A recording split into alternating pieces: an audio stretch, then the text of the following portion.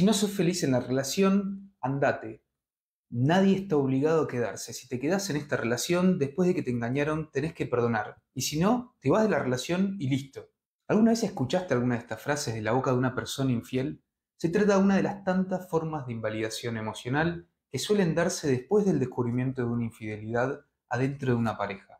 Para huir de la responsabilidad de enfrentar las quejas y reclamos de quien fue traicionado, quien cometió la infidelidad puede llegar a sugerir hasta una separación. Duele, duele y mucho.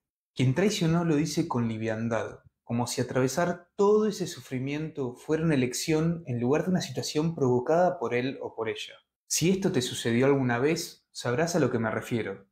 Esta persona puede que pretenda que muestres una actitud positiva, que expreses afecto, cariño, como si nada hubiera pasado. Pero yo lo sé bien, es imposible que superes rápido todo el dolor y el sufrimiento que te generó. Quien fue infiel puede llegar a decir, si deseas quedarte, quédate, pero no vuelvas a mencionar la infidelidad.